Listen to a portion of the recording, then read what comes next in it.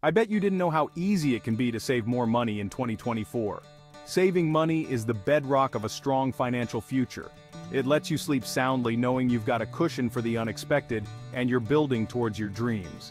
But we also know that saving money can feel like a constant uphill battle. Life throws curveballs, and it's easy to feel like you're just trying to keep your head above water. So if you've ever struggled with saving or just want to learn some easy habits to boost your savings rate, then you're in the right place. Let's get started. Alright, let's kick things off with the foundation of any solid financial plan budgeting. Budgeting doesn't have to be about restricting yourself or living like a monk. It's about understanding where your money is going and making conscious choices about how you want to spend it. Your budget is your financial roadmap. It helps you define your financial goals and shows you the path to get there. There are tons of different budgeting methods out there, from the classic 50-30-20 budget to more detailed spreadsheet-based systems. The key is finding what works best for you, your lifestyle, and your financial goals.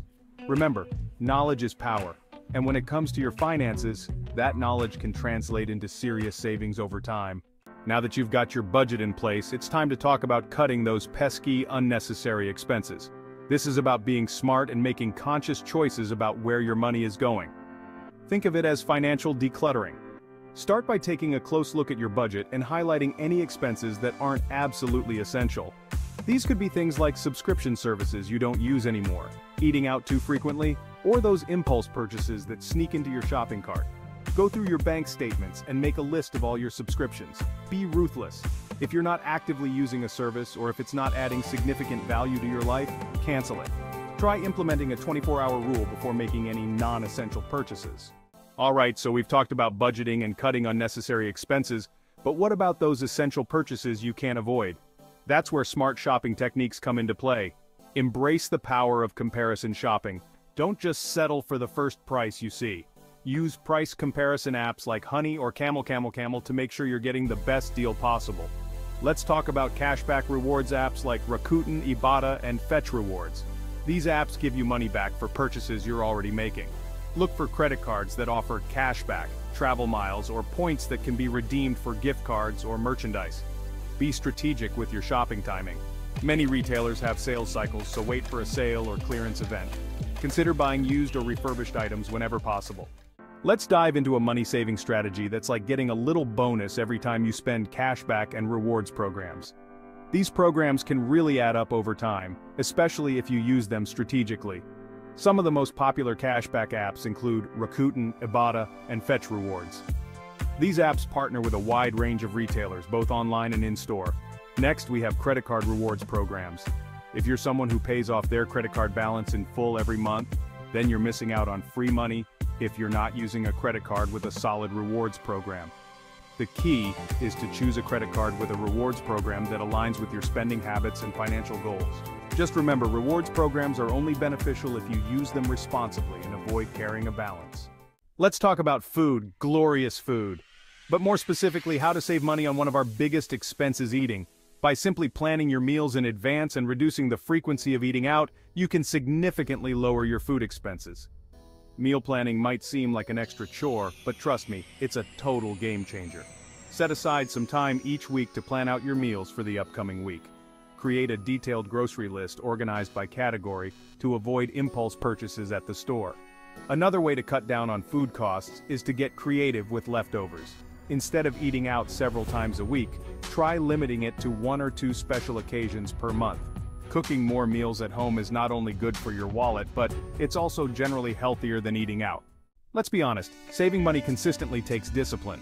By automating your savings, you're essentially tricking yourself into saving money without even having to think about it. Think of it like this. When you automate your savings, you're prioritizing your financial future before you even have a chance to spend the money. There are a couple of ways you can automate your savings. The first and easiest way is to set up automatic transfers from your checking account to your savings account.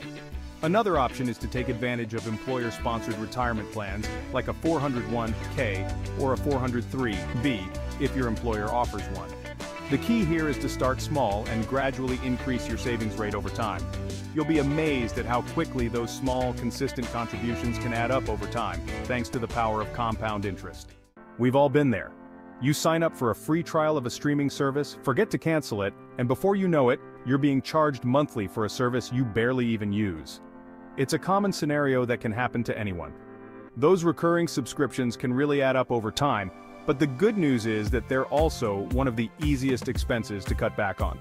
By taking a few simple steps, you can save a significant amount of money each month. The first step is to take inventory of all your subscriptions. This means identifying every service you're currently paying for, no matter how small the amount might seem. Go through your bank and credit card statements for the past few months and make a list of every single subscription you're currently paying for. This might take some time, but it's worth the effort to get a clear picture of your expenses. Once you have a complete list, it's time to be ruthless. Don't hesitate to cut out services that you don't use frequently. Review each subscription and ask yourself, am I actually using this service regularly? If the answer is no, then it's probably time to cancel it. Remember, every little bit adds up. Set reminders in your phone or calendar to review your subscriptions on a regular basis. This way, you can stay on top of your expenses and avoid unnecessary charges in the future. Regular reviews can help you stay financially healthy and avoid unwanted surprises. In today's world, it often feels like we're constantly bombarded with messages that tell us we need to own a car to live a full and convenient life. But the reality is that owning a car, especially in urban areas, can be a significant financial drain. Between car payments, insurance, gas, maintenance, and parking, the costs of car ownership can really add up quickly. Public transportation offers a surprisingly convenient, affordable, and often faster alternative to driving. One of the most obvious benefits of using public transportation is the cost savings. Public transportation can also save you time and reduce stress, particularly if you live in a congested city with heavy traffic. Moreover, using public transportation can contribute to a healthier lifestyle and a cleaner environment. Walking to and from public transportation stops can provide you with some valuable exercise. So, next time you're planning a trip, consider giving public transportation a try. Not only will you be saving money, but you'll also be contributing to a more sustainable and eco-friendly way of living. Public transportation systems are designed to be efficient and can often get you to your destination quicker than driving, especially during peak hours. Additionally, using public transportation can free up your time to read, relax, or even catch up on work during your commute. It's a small change that can make a big difference in your daily life and the environment. In today's consumer culture, it's easy to fall into the trap of thinking that we need to hire professionals for every little task around the house. Whether it's fixing a leaky faucet, painting a room, or even assembling furniture, the default reaction is often to call in an expert. But the truth is that many home improvement projects, repairs, and even personal care tasks can be tackled with a little bit of DIY spirit and some elbow grease. You'd be surprised at how much you can accomplish with just a bit of determination and the right guidance. Embracing a DIY mindset can not only save you a significant amount of money, but it can also help you become more self-reliant.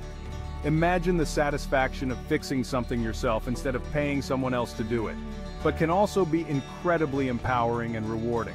The sense of accomplishment you get from completing a project on your own is unmatched. Start by identifying areas around your home or in your life where you're regularly spending money on services that you could potentially do yourself. This could be anything from home repairs to personal grooming. There are countless resources available online, from YouTube tutorials to DIY blogs to online communities dedicated to sharing tips and tricks for tackling various projects. These resources can provide step-by-step -step instructions and helpful advice, from YouTube tutorials to DIY blogs to online communities dedicated to sharing tips and tricks for tackling various projects. You can even join forums and groups where people share their experiences and offer support. One of the keys to successful DIY is to start with small, manageable projects. Don't overwhelm yourself by taking on something too big right away, and gradually work your way up to more challenging endeavors as you gain confidence and skills. As you complete more projects, you'll find that your abilities and your confidence grow. Another important aspect of DIY is to invest in some basic tools and supplies. Having the right tools can make a huge difference in the ease and success of your projects. Embracing a DIY mindset is not just about saving money, it's about taking control of your environment and your life. It's about fostering a sense of self-sufficiency, resourcefulness, and creativity. By taking on DIY projects, you not only improve your home but also build valuable skills and a sense of pride in your accomplishments. So there you have it. 9 simple yet powerful habits that can help you save more money in 2024 and beyond. Remember, financial success is a marathon, not a sprint. It's about making conscious choices, being mindful of your spending, and consistently taking small steps towards your financial goals. Start by implementing one or two of these habits into your daily life, and gradually incorporate more as you become more comfortable. Thanks for watching.